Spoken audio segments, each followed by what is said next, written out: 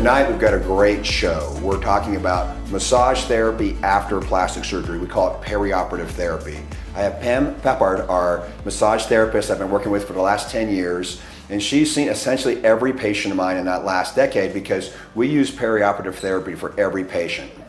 Pam, thank you so much. It's been great working with you these last 10 years. Hope the next 10 are equally as enjoyable. Yeah. And I have to say that I have more comments over the years about how beneficial the work you has been you have done for patients, particularly if they've had some challenges with tissue healing or things have been Mm-hmm. stiff.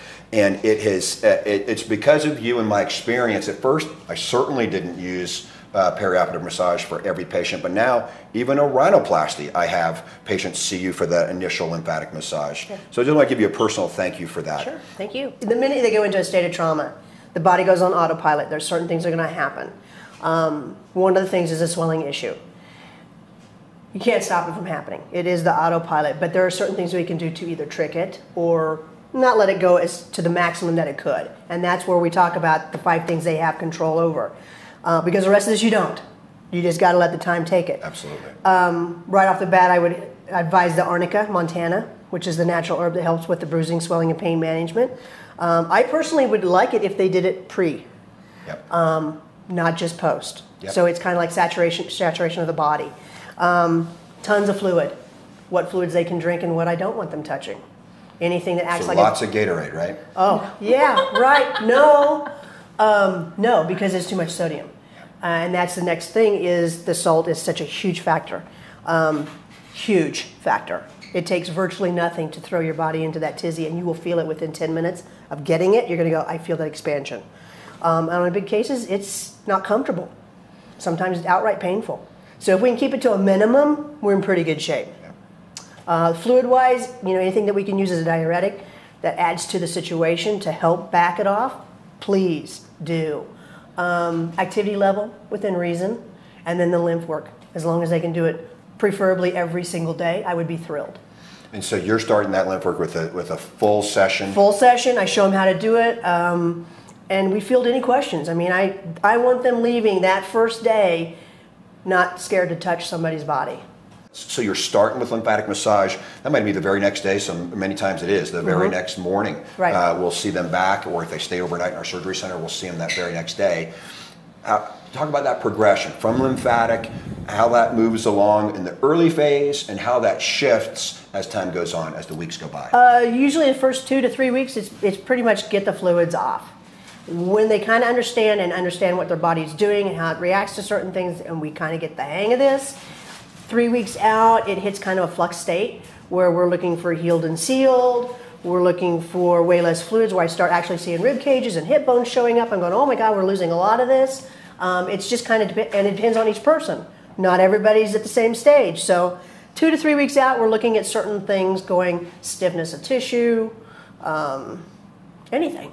How is the incisions looking? Uh, are they looking like they're a really fast healer? Where if there's somebody is a fast healer, then I've got to go, oh, we're way ahead of schedule. I got to look at make sure we don't overheal. Uh, and at that point, we integrate more stretching and or foam rollers and whatever else. If it's happening slowly, we got to let them hang out. I mean, it's we got to go at the pace. Okay.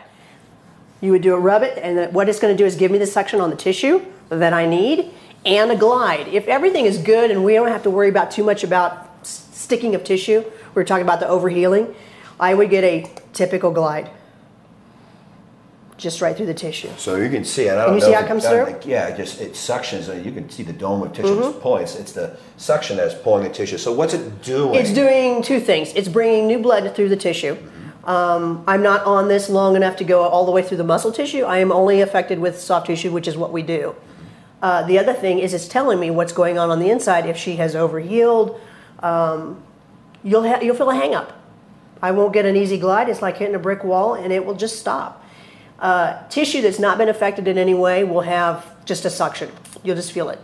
Tissue that we've done something to and it's overhealed, I will have the potential of a pinch sting sensation, and we just sit there until it goes away. And usually, once it goes away, we don't have to go back.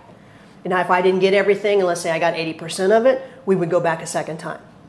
Or I send cups home and let you do the rest of it. But it's just a gliding through the tissue. And this feels actually pretty good. Now I'm going to go closer to an incision site. And that's pretty good. And it does slow down. And it sticks. I don't have a movement. So I would sit here for a little while and we chit chat about whatever you want to talk about. Chickens, Chickens, tomatoes, whatever. greenhouses. Gardens. What'd you have for dinner? We do, uh, or along with that, we do talk a lot about food. Um, Absolutely. and make sure everybody knows what. Because when I say low sodium, everybody goes, "So what do I eat?" So I'm not using a salt shaker. I don't. I don't have a lot of sodium. Yeah, Nothing in a package. nothing in a package. Our team here really all together enjoys partnering with patients like you become essentially part of our family. Um, that is our kind of our mission. Our goal is to partner with patients on their journey for self-improvement and their journey to become their personal best. And that partnership is very important to us. That is where this education is something that is important for us to bring to you. And I just thank you for watching and participating. Do send in your questions even after the show here. If you're watching this recorded, we will get to and answer those questions. And you can always reach us uh, at our website, coloradoplasticsurgery.com, and all our social media channels at Denver Body Doc. That includes Facebook, of course, Instagram, and Snapchat. All right, thank you very much. Enjoy your journey. Good night.